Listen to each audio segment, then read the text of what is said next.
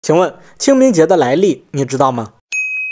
在我国春秋时期，晋献公有个儿子叫重耳，为了避免被迫害，于是他就选择了逃亡到其他国家去。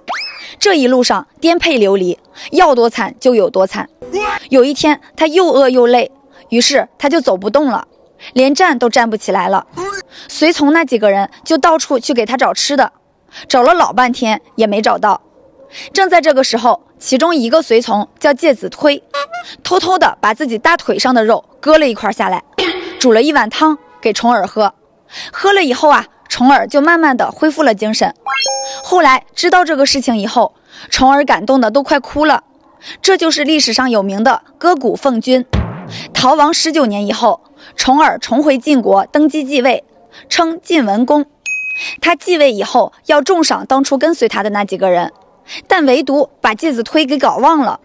介子推一想，哎，把我搞忘了，那算了，我也不在乎你那个。于是他就背着老母亲去了山西的绵山，过隐居生活。晋文公一听，哎，隐居去了，感觉到很羞愧，于是就派人去找，找来找去也没找到，于是就有人出了主意，干脆把山给烧了，烧三面留一面，这样就能把他给逼出来。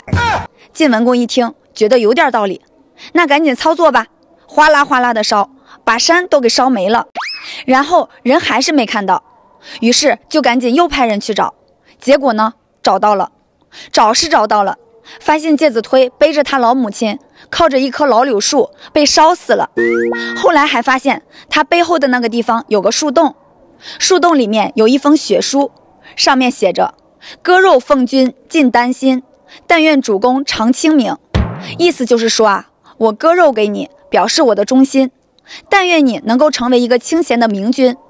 晋文公一看，非常悲痛。